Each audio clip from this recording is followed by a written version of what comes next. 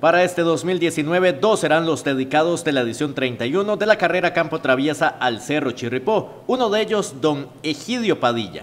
Me halaga muchísimo y siento que es una expresión de, de comunión entre todos, ¿verdad?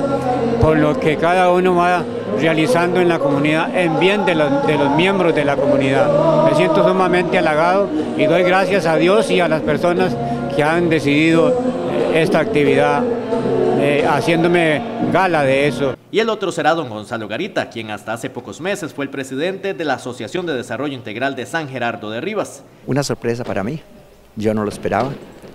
Este, me han dedicado a la carrera supuestamente por años de trabajo que uno tiene sobre la comunidad, pero yo considero que uno siempre cuando trabaja, trabaja porque necesita trabajar por la comunidad, verla crecer, verla superarse y para mí Amadían ha sido una sorpresa, ¿verdad?